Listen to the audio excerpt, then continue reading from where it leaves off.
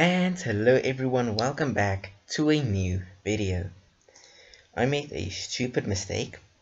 Here when you go to video you have this one right here which says if you press F12, you know um, it stops recording.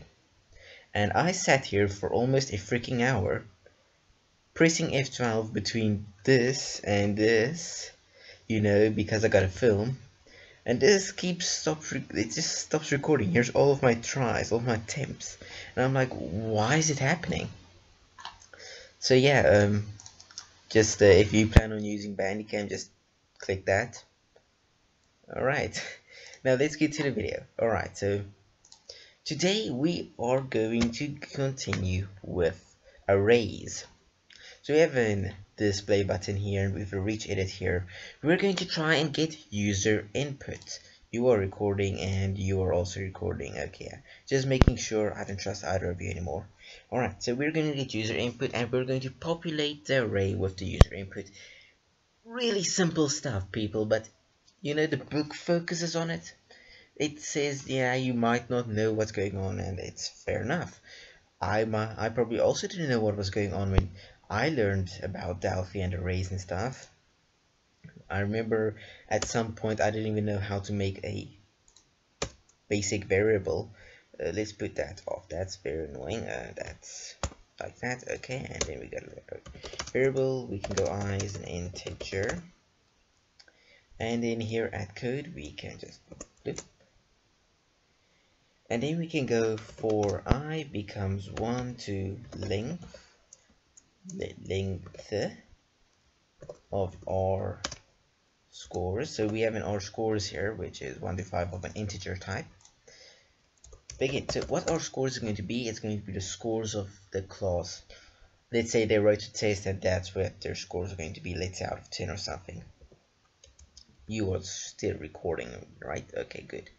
So, and how's my voice? Does it, my voice isn't that good. Okay, it's kind of soft, but it's fine.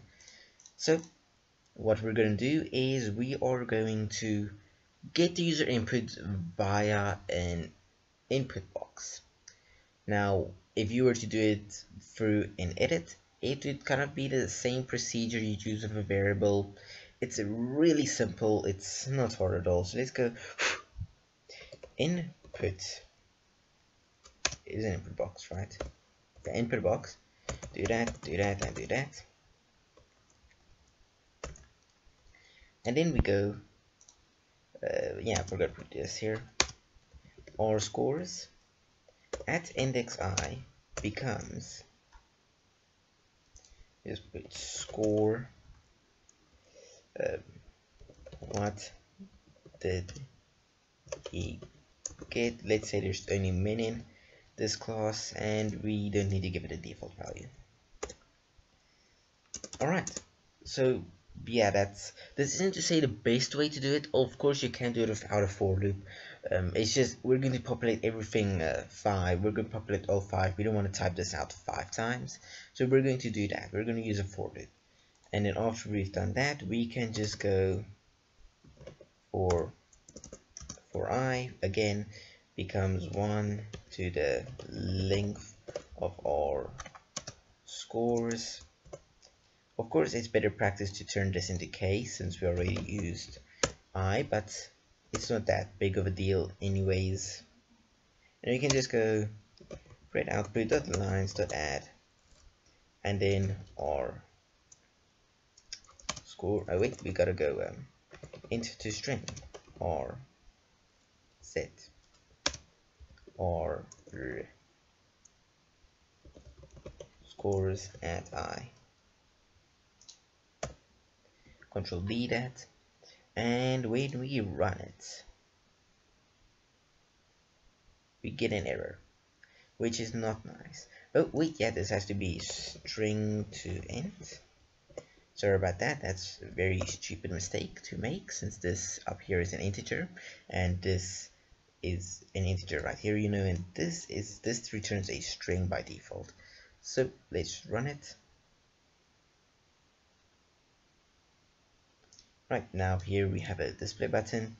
What did you get? This one got 9 out of 10, 1 out of 10, 20 out of 10, and this one got 5 out of 10. and it's 5 so 0 there we go we got input and we displayed it right here we can go and get it again if we just type it out you know this is basically how you get input very simple not anything to it it's if you don't know if you don't understand and what an array is just think of it as a variable. You probably understand what a variable is right? Something that keeps a value. Now this basically says keep five variables in here but we don't want to give all of them a different name. They're all r scores. We give them numbers. So this would be like one or two or three you know that's what's going to happen. So this is that's basically what an array is. It's just something that can hold variables if that makes it easier for you to remember. It's basically variables on its own but without needing to give all of them a different name like let's say name 1 becomes this name 2 becomes that name 3 becomes this. You know then you just make our names and then you give them indexes. Easy as pie. Hope you all learned something new today. Thank you for watching and see you all in the next video